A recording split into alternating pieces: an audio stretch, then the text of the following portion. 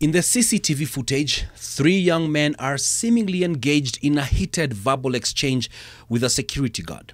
The exchange turns violent, with one of the young men hurling a bottle at the guard. But it is this action of one of them drawing his gun and menacingly approaching the guard that has landed him in the crosshairs of the law enforcement officers. The man has since been identified as Kevin Obia. He was picked up by the police yesterday. The firearm that he brandished with near reckless abandon has been withdrawn. Police say they are seeking to establish whether the firearms registration certificate that Kevin Obia presented to them to prove that he is a licensed gun holder is legitimate. He was released on police bond and is set to be charged in court. It won't be the first time Kevin will be in the dock.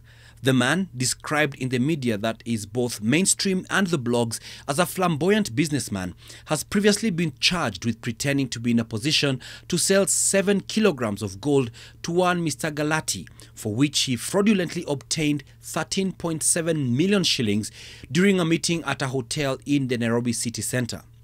Kevin Obia, alias Kevin Clay, alias The Dawn, does paint the image of a man who is not afraid of showing off his wealth. His social media presence awash with images of a life of luxury. He is often photographed beside high end luxury cars and houses.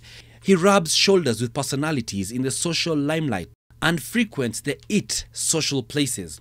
The source of his wealth, however, remains the subject of unanswered questions and wild speculation. Police are expected to charge him by Thursday this week.